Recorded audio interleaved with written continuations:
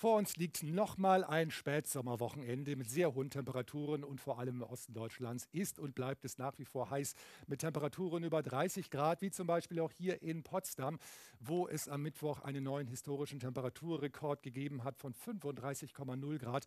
Der alte Rekord ist sehr, sehr alt aus dem September 1895. Auch am Freitag hier wieder über 30 Grad, genau wie auch am Samstag. Nach Südwesten zu nicht ganz so heiß. Das liegt auch daran, dass hier von Frankreich immer wieder mal Wolken mit Regenschauern und Gewittern hereinziehen. Die können auch schon in der Nacht ziemlich kräftig ausfallen.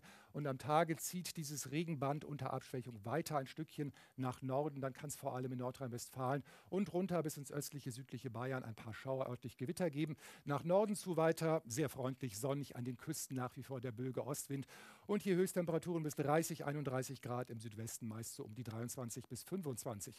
Der Samstag nochmal heißer, bis zu 32 Grad in der Spitze. Auch im Südwesten am Rhein geht es bis an die 30 Grad Marke ran. Da merkt man noch gar nicht, dass es Herbst wird. Man merkt es am ehesten an den früher einsetzenden Sonnenuntergängen. Erstmal scheint lange Zeit die Sonne nur nach Norden zu, gibt es vereinzelt mal Schauer. In München geht die Sonne heute zum Beispiel schon mal um etwa 19.44 Uhr unter.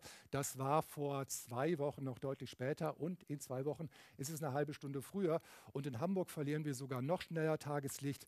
Vor zwei Wochen noch halb neun der Sonnenuntergang und in zwei Wochen dann schon vor halb acht. Also da kann man noch mal richtig den Spätsommer genießen. Zum Beispiel in den Badeseen bei 22 bis 25 Grad Wassertemperatur.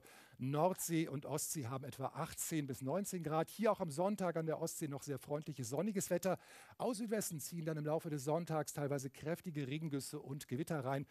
Und nochmal wird es warm mit maximal 24 bis 32 Grad.